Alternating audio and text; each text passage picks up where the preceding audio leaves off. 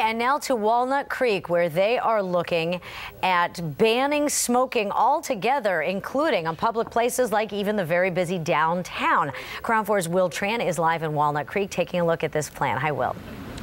Good morning, Daria. And the reason why they're doing this is because they want everybody in Walnut Creek to be even healthier. There's already a law in place that you cannot come down here. By all means, you can grab a cup of coffee, but you can't come down here and smoke right next to the coffee shop. But if this law passes, you can't smoke anywhere in Walnut Creek because they don't want secondhand smoke to affect anybody, not just in downtown Walnut Creek. We're talking parks, places, parks, uh, picnic areas, playgrounds, sporting events, you name it. You can't do it and we talked to people this morning and they said, yeah, you know, we understand that. And one lady said, I don't care, it's not my problem. I just don't want them smoking around me, period.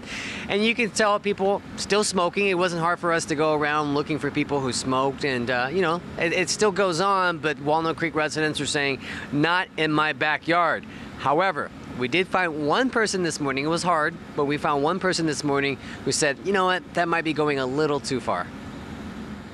I think that being too close to a building probably should be illegal. I think there should be, you know, a 25 foot rule, 50 foot rule, but um, making it illegal to smoke anywhere downtown, I think it's just kind of dumb, honestly.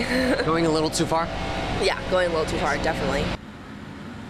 And back live now, you can see there's a sticker on this table. There are other stickers on tables at restaurants all over Walnut Creek. There's still time if you're a smoker to fight it because last night they had their first meeting. It passed, but the city council will revisit this uh, this issue.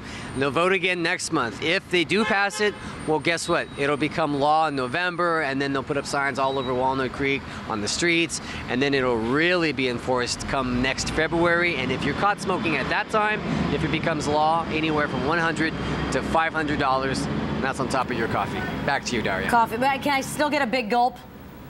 You can still get a big sugary drink, right? I want that.